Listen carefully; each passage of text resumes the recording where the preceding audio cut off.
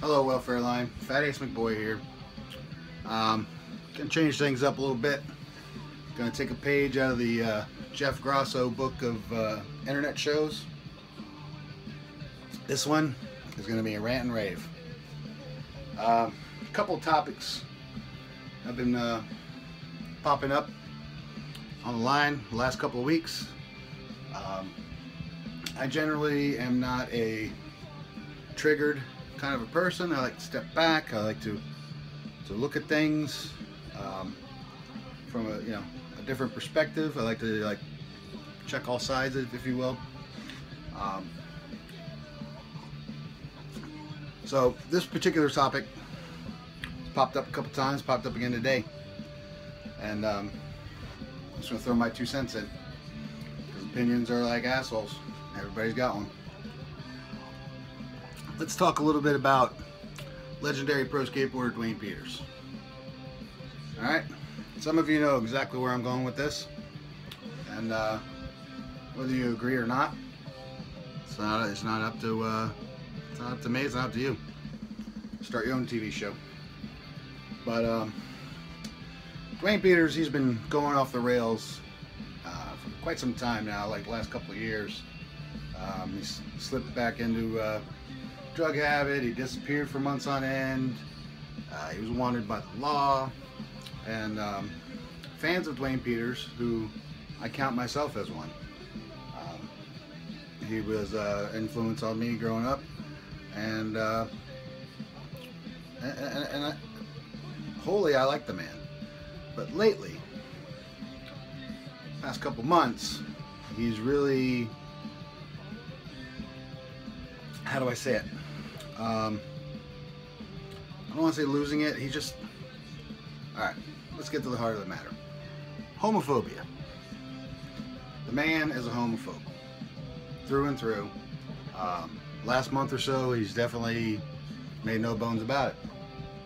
And if you're a fan of Duane Peters, like I am, it is 100% possible to like his legacy but dislike what he is doing today. And you do not have to endorse it. You do not have to even accept it. Okay? I love what he's done in the past. At one point, he was one of the world's top skateboarders. I love his style. I love the way he skates. He's unhinged. He doesn't know what he's doing from one wall to the next in his skateboarding. And to me, that is what skateboarding is all about. But what it is not about is being homophobic asshole. And that's what Duane is. Okay? Plain and simple. If he were here today, I would tell him to his face. I met the guy in person back in the 90s. We hung out for two days. I had no problems with him back then. He didn't even, I didn't even see this side of him back then. But regardless, there's no excuse whatsoever. Whether you're losing your mind, whether you're on a drug trip, whatever the fuck you want to call it, there's no excuse for it. None whatsoever. If you support Duane's opinion on that, please consider yourself not my friend. I have always had the ability to read people pretty well um, and see where they're coming from and see where they're going. And let me give you my point of view of what is happening with Duane Peters right now. Duane Peters long time ago, uh, made a decision to be an anti-establishment punk rocker and skateboarder. And he has stuck with it. So much so that it has hurt his personal life. To the point where last year he cut off all ties with any, any sponsor he may have had. Um, he in the last year has made it a point to um, belittle, insult, and even and then just plainly out of the fucking blue make up outrageous shit about his cohorts in the skateboarding industry. I'm talking about calling Tony Hawk a murderer, um, calling Steve Van Doren from Vans a pedophile. Um, it just, it's the the drugs I'm not saying the drugs are excuse, but the drugs have pushed him in his mind to the point where where he's at today with the with the homophobia and with the, the Trump thing, which is another topic I don't want to get into. Um, it, it, it, all this stuff makes him feel like this is the way to be, to reject society, which was one of the early early precepts of punk rock, and it he's he's digging himself a hole that he can't get out of. There's there's no coming back from this. He has cut all ties whatsoever. He could be sitting back and enjoying the resurgence of 80s skateboarding like a lot of the pro our favorite pros from back in the day who have pro models out they're traveling the world they're getting paid what they deserve to get paid there's nothing wrong with getting paid duane for the stuff that they deserve they're all doing it but duane has just for lack of a better term gone off the deep end and is just said, you know, there's nowhere to go from here. Where does he go? Uh, he's got, got people on his Instagram that are cheering him on and way to go, Duane. That's fucking punk rock. There's nothing punk rock about what he's doing right now. Nothing. Zero. There's nothing punk rock about homophobia. There's nothing punk rock about Donald Trump. You can support Trump.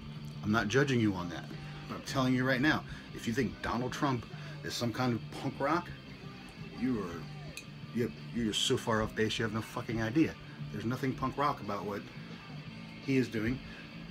There's nothing punk rock about hating people for their sexual choices in life. Nothing at all whatsoever.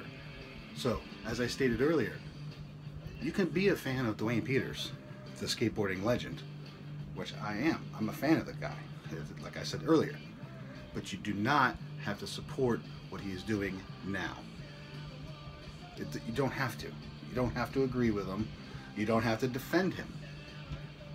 It's possible to be a fan and not be a fan of what he's talking about these days.